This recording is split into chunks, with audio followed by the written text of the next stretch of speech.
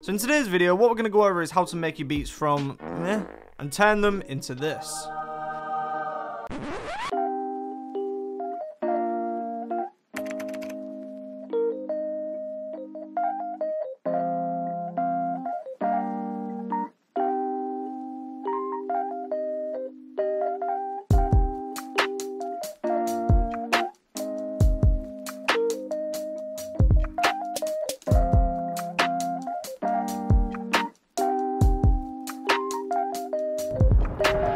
Right guys, welcome back to the channel. So in this video, we're going to go over how to make your beats sound professional. So if you are new to making beats, you'll probably hear like quite a bit of difference between you and like the top producers like Nick Mira and people like that. I know when I first started, I like didn't know what was missing, what was like the difference between mine and theirs. So in this video, I'm going to go over the things that I wish I did from the beginning and basically tell you the things you should be focusing on to take your beats to the next level. So yeah, so we're going to go through a few things. I think I wrote down like three things or something. So yeah, so hopefully by the end of this video, your beats will be a lot better.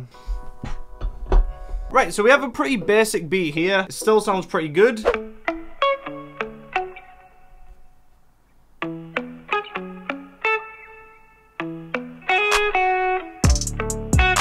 Right, so that is what we got for the beat. So as you can hear, it sort of lacked a lot of stuff. When that beat came in, it didn't really like hit too hard or anything like that. Just sort of like walked in. And we don't want that. We want the beat sort of like kicking down the door. So the first thing on my list is getting that kick and the 808 to actually hit properly. So where I'd always start would be to find an 808 and a kick that actually match. Meaning that if your 808 is taking up this frequency down here, then you don't want your kick also to be right there because then they're just going to like not really get on properly. So the main thing I'd focus on is sound selection first of all. A lot of the times you can just find an 808 and a kick that do actually match. But if they don't, you can just sort of like make some peaks down here from where the kick is. So you're sort of leaving that space for the kick.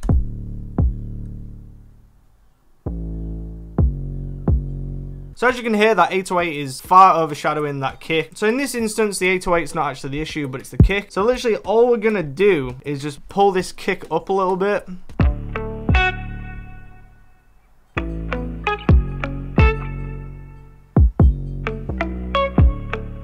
So now that kick's on top of the 808 so that so that when it does actually come in, the kick will be a lot more prominent, which in a lot of beats, everyone wants like a hard kick coming in. So now we're gonna just see what that's like.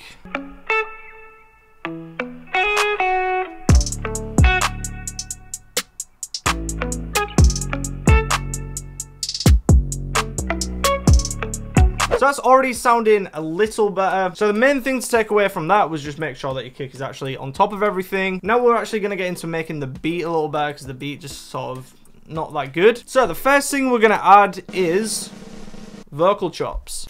So if you've watched any of my videos before, I absolutely love vocal chops. And the best way to get vocal chops typically is using Arcade, which looks like this. So this is actually a paid subscription thing, but this is definitely worth it just for the vocal chops, to be honest. That's more or less all I use. So if we just solo this guitar sample.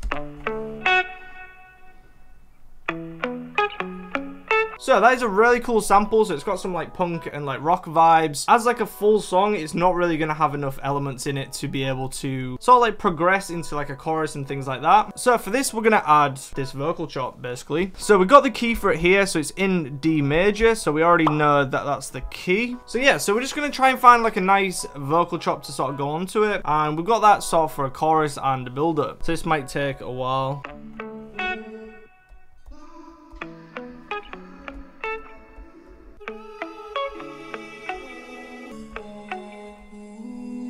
These sort of sound like some off like Halo.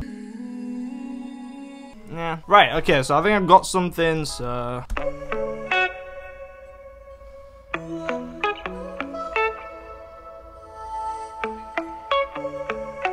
So that's a good start for that. So I do feel like we need to sort of fill this bit. Da, da, like something like that. Yep, there we go. Right, so as you can hear, that is a lot better. It's gone from like being this bare to like actually having something. So now we got this sort of like progression into something.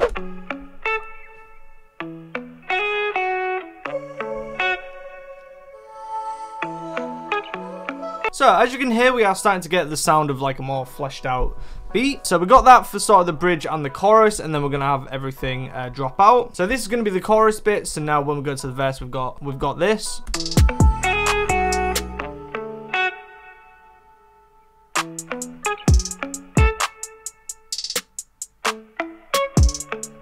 So yeah, so now we can sort of level it up again, and this is where we get into transitions. So no joke, transitions is probably one of the biggest things I've realized in my years of like producing. Transitions make a huge huge impact. So we're just to get a few in now. So these are the selection that pretty much I use. So for this bridge bit, we're to start with this riser and this click noise.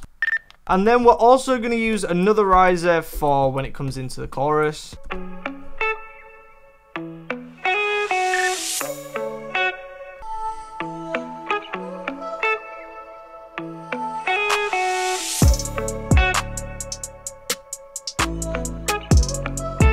That makes all the difference, especially when you're coming into that first chorus bit. That initial sweep riser just makes it hit a million times harder. So then you want some sort of swipe transition like this one. I use this one a few times in the beat and we're just going to use it to sort of break up between the bridge and the chorus.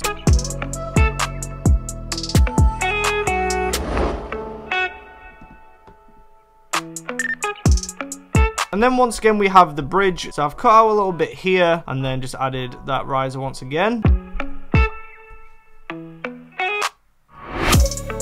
So yeah, so that was just going over some of these transitions. So I think these make an absolute huge impact on your beat. So without the transitions, this bit's just to sound like this.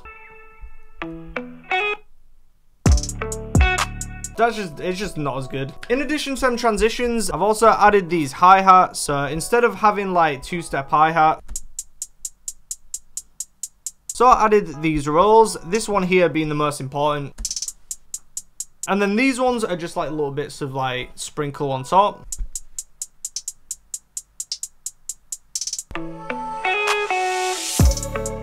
So the last thing I added was this sub bass. They're really good for like these beginning sections of beats. You've probably heard them in quite a lot of songs. If you don't have a VST with any good sub samples in them, I just say go to Reddit and just type in sub sample and you're gonna get a lot of subs on there. All we did is copy this 808 pattern down here. So we've got the same 808 pattern.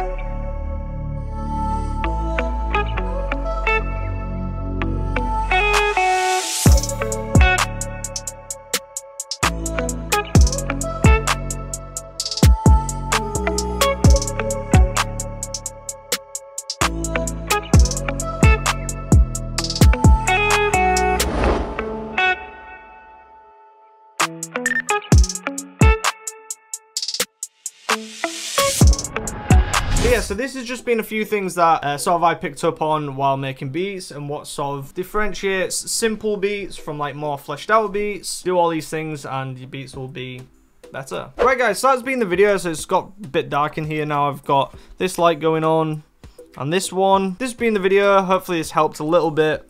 Um, follow me on Instagram, subscribe if you're new. And yeah, that's been it. Thanks for watching. Until next time.